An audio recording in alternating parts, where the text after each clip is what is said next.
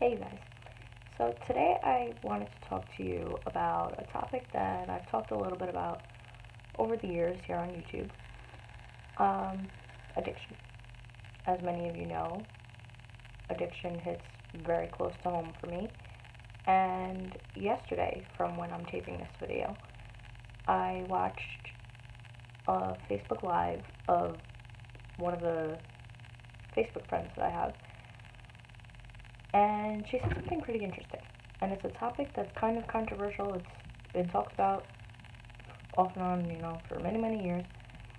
And that's whether or not addiction is a disease. And I've fluctuated over the years based on my experience with loved ones suffering from addiction about whether or not it is or not. I think it's both a disease and a choice. Because you can have the gene, but you still have to first pick it up and then get addicted to it. So there's the gene where somebody can have a glass of wine and not become addicted.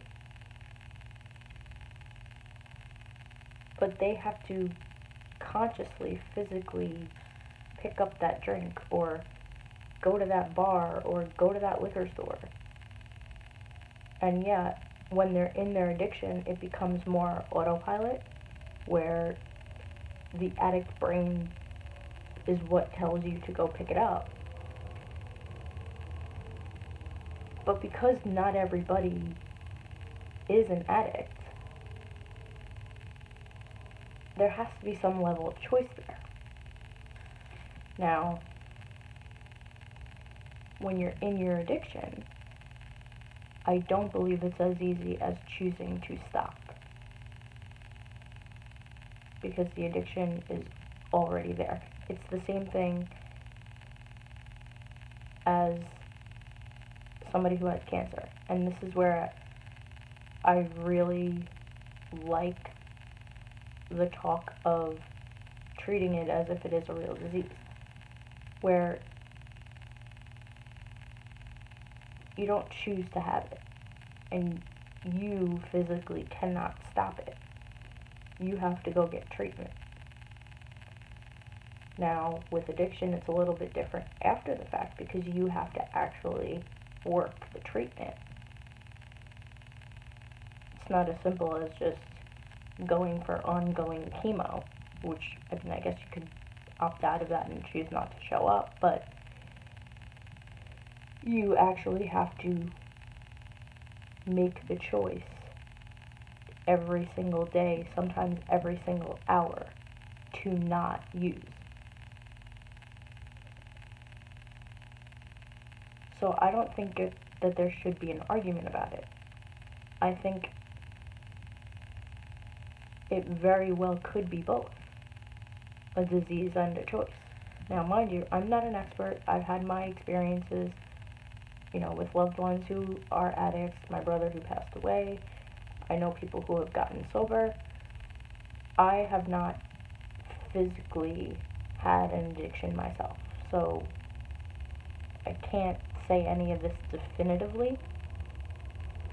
And I do think everything is subjective to everybody else's life, you know, to your own life. But as a whole, I don't think it's either or. I think it is a choice and a disease. Because if you're going to tell me that it's not a disease, then why treat it? And then how many people would have been robbed of being sober today?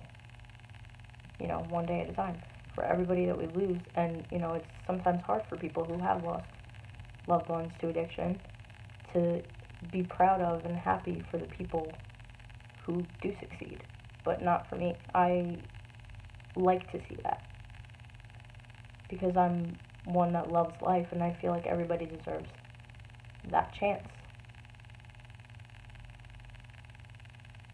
So I feel that it's both. And I feel like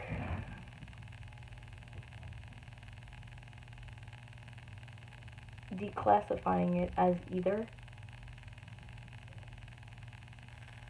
puts too much responsibility on the addict who is not thinking in their right mind. It is a lot like, you know, I, I know it's kind of touchy to compare it to this because it's often onset because of a mental disorder, but I do think it is one. I, I think it's, you know, a lot of bipolar people will use a vice, whether it's drinking, drugs, gambling, shopping, whatever, in their mania. But I think as it stands alone, addiction is a disorder. You know, maybe it's the terminology that people are uncomfortable with, comparing it to somebody who has cancer and saying it's a disease. So, you know, whatever you classify it as, I think it's both.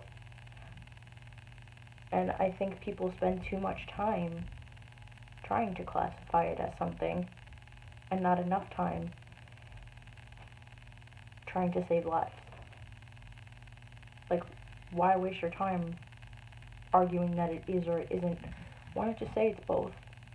And then figure out what the hell you're going to do about it to help people. Hundreds, I don't know the number off my top of my head, but I know it's over 100 people die from addiction every single day. So why not just fix that? Or at least contribute to fixing that instead of arguing about it. That's just my take. And I just felt compelled to talk about it tonight. I don't know why. I guess because of the Facebook Live video that I saw. And I'm not discounting my friend's opinion. You know, everybody has a right. And I, like I said, I, I think it's both, so I do see her side. So, thank you guys for watching this video. Um, if you're new to my channel, please subscribe. Also, just as a side note, I got a message telling me that unless I get at least a thousand subscribers and 10,000 views for the year, they're demonetizing me because of that kid who was irresponsible and taped something that he shouldn't have. And that is as far as I'm going to go into detail. I'm sure many of you know what it is. But I don't think that all of us who are monetized on here should be punished for what one person did. I don't subscribe to that group think. But yeah, if you're new to me, subscribe if you haven't already. And share this video so that it gets views and more importantly, maybe help somebody who's on the fence clarifying because there is when you're trying to rationalize somebody's addiction, it is hard if you're in your own head. So maybe this will give somebody a new perspective where they're not fighting with themselves. Oh, is it a disease or is it a choice? Relax. It's both. Just be there for your loved ones' recoveries, not enabling the addiction. Pray for the best and stop obsessing over what it's called.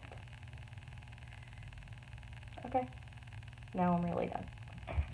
Thank you guys for watching.